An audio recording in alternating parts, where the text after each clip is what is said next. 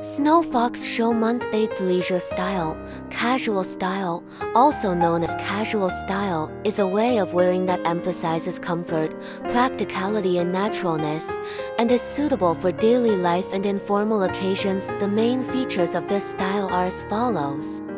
1. Comfort Choose comfortable materials and loose cuts to ensure that you can wear comfortably. 2.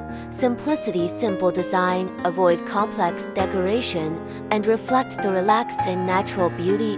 3. Easy to match It is easy to match between items, which can quickly combine daily wear. 4.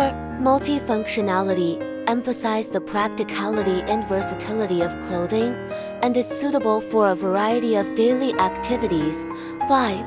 Personalization.